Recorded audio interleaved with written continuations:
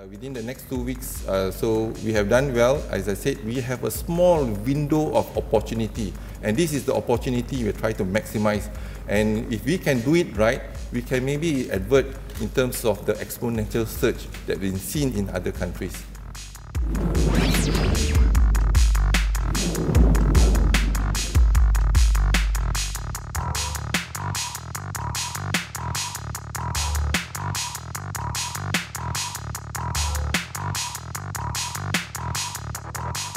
Dan kalau kita lihat uh, dari uh, ramalan uh, JP Morgan, WHO dan juga Malaysian Institute of Economic Research mengatakan dalam tempoh seminggu lagi kita mungkin akan mendapat kes yang mendadak.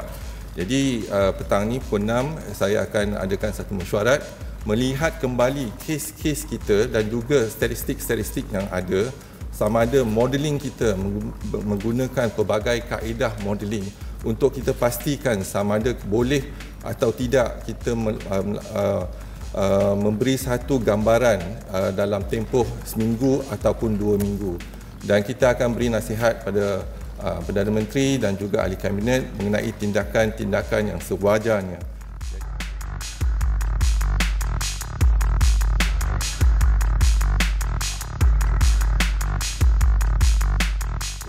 Jadi kalau kita menggunakan kaedah kumulatif semua akan jadi merah satu masa.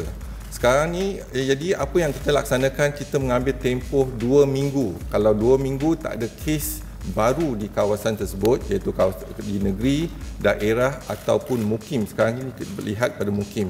Jadi mungkin kita akan dapat satu gambaran yang lebih tepat uh, kawasan tersebut sama ada hijau ataupun merah.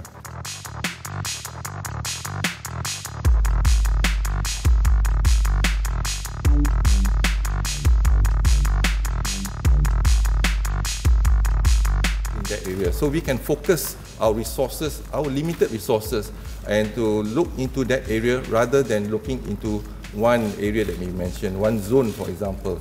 Uh, so this is the reason why we are looking into the data not only from the perspective of the state, but also district and mukim and even a kampung.